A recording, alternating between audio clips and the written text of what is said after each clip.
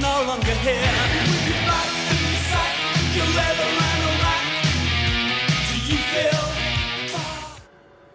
Hello, YouTube.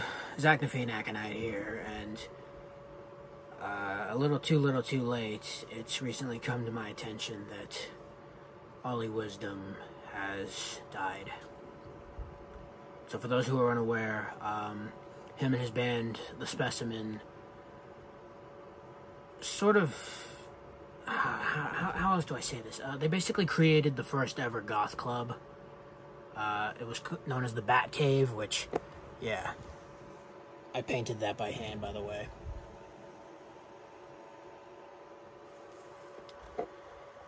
Just a few years ago. A little side note. Anyway, yeah. Um. Apparently, yeah. It um.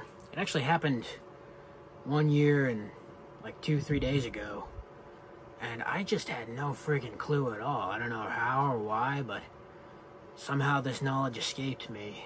And well i mean I've, I've got an assumption or two. I was dealing with my own problems at the time. I was homeless and sick but yeah no um, back in 83 these guys created the first ever goth club. They used to play there all the time. It was pretty short-lived. Apparently it was only there for like two years and from what i can gather from what i've what hearsay i've heard it's um, just a fancy restaurant now uh, with no real acknowledgement or respect towards what it used to be.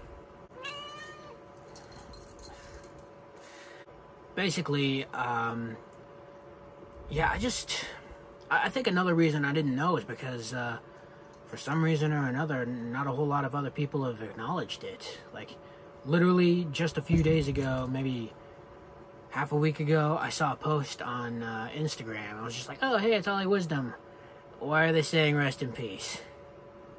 What the fuck happened? So, sure enough, I go to the comments and it's like, oh god, I can't believe it's been one year. I'm just like, what? Since when? Which sounds ridiculous and redundant, but yeah, no, it's, uh, yeah, that happened. Because back when Bowie died, a lot of people were making, a lot of people, particularly in the online goth community, uh, were really making a big fuss over it, understandably so. I mean, as far as I know, he was very influential. I never really grew up listening to him particularly, and even as soon as I started to explore more goth bands out there and just more alternative bands in general, he was never a particular favorite of mine. Um, I think Bauhaus, this may be heresy, but I think Bauhaus did Ziggy Stardust better than he did. That is what it is.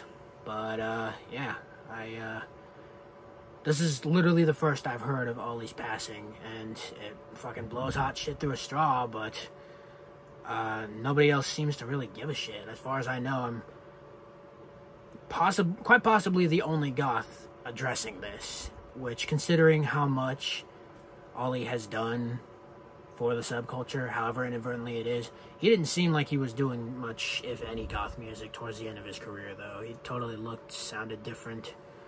Uh, from what I can gather, he um, he was 63, and even now the details of his death are nebulous at best. Nobody really friggin' knows what happened, but um, yeah, it's um, it's fucking tragic.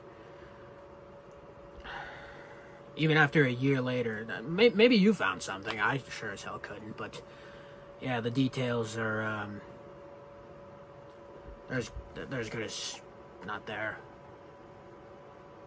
But if you had better luck, by all means, let me know down below. Let me know if I'm not the only one first catching wind of this. Uh, but yeah, I um, I gotta say, now that I know, I'll definitely miss him. Rest in peace, you fucking legend. If you like, please like. Feel free to share obscure little thoughts in the comments below, as well as to share the video itself. Subscribe if you wish to see more. Don't forget to hit the bell if you do. And as always, thank you so very much for watching, and I love you all.